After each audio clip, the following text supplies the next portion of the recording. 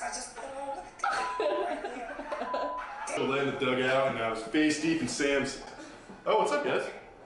Um, we're having a meeting with Amy. Does Amy know that? Um, she said five minutes, like 45 minutes ago. Amy!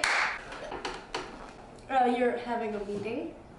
No, it's in like five minutes. It's been five minutes. Time moves forward. Welcome to Dorfman Hall orientation. This is Dorfman Hall. I'm Amy. I'm going to be your RA this year.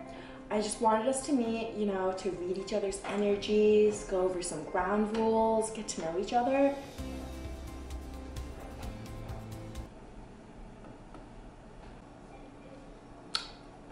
Um, I think we're missing some people.